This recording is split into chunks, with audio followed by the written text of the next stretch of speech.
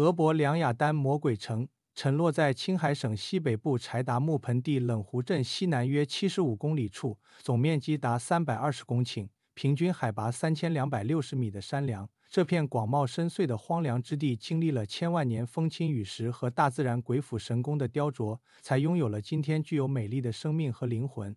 这里也是亚洲乃至世界规模最大、地质形态发育最成熟、最具观赏价值的雅丹地貌群落。二零一四年，冷湖俄博梁雅丹地貌魔鬼城入选青海最美景观拍摄点。来到这里，你会发现这是一个规模超出人们想象的雅丹群落。身处此地，你才知道什么叫做自然界的苍茫与辽阔。雅丹地貌是大自然鬼斧神工的最高境界之一，你一定会为其神秘的魅力而折服。这里的雅丹群落大部分处于无人区。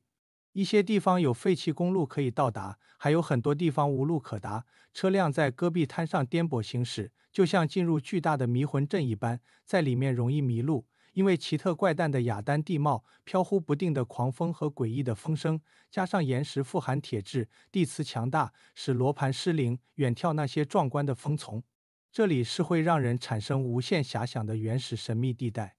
俄博两雅丹分为一号与二号群落。有一条废弃的道路贯通其间，腹地里的雅丹当属于成年期，形貌高大壮阔。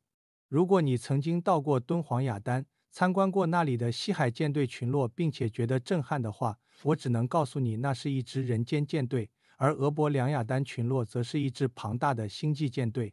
这一带雅丹形貌多变，气势磅礴，由于周围有大片盐碱地的烘托，显得更为苍茫神秘。择一高台，远望群山。只见其间雅丹从幼年期到老年期呈错落分布，风过白沙迷离之间，远方仿佛是另一个星球的异域城邦，又好像古老的王国穿越千年依然耸至眼前。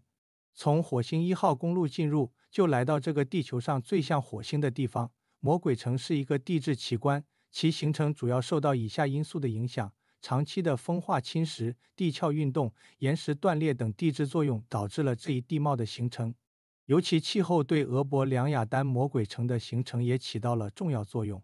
干旱、高温等气候条件下，岩石表面的风化速度加快。